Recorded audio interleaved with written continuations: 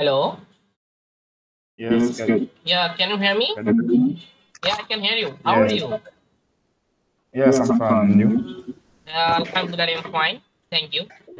So basically, uh, today we will try to discuss about a one topic, uh, mainly water quality monitoring. Okay, how we can actually perform the water quality monitoring, mainly uh, NDTI. You already sent me the algorithm, normalized difference turbidity index. How we can easily perform using uh, Google Yes. Engine platform. Okay, so let's go. Okay, so basically you already joined my one online training program, so that's why this time you also get the some continuous support uh, lifetime. Okay, so this type of support you can easily, easily get from my, my site, no problem. So okay, so let me share my screen. Just a minute. Okay, can you see my screen or not?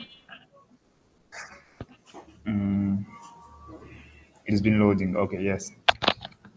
I'm seeing. So okay, so basically you can see this is your algorithm about that. So basically you want to use that the signal to satellite imagery, Yes. and then further you want to extract this type of band, and then calculate it the NDWI. Basically, it's the normalized difference water index.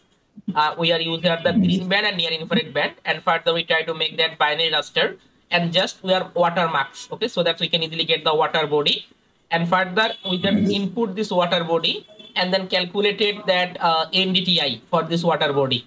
Okay, so that's why we can get the normalized difference turbidity index. So let's go about that in our code, which I already created in here. So just I simply open. Yeah.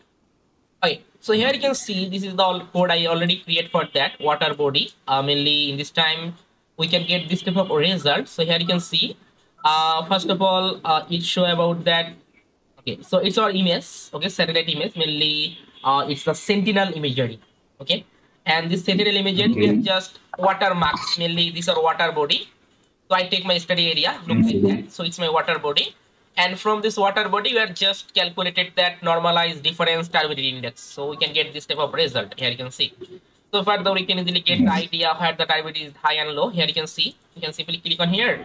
Then we can get the color combination, such as uh, this type of color identify about the low turbidity this type of red color identify about the high turbidity okay so further if you want you can also check the result from the turbidity index as well as also export this map. So there are a lot of things you can easily do in here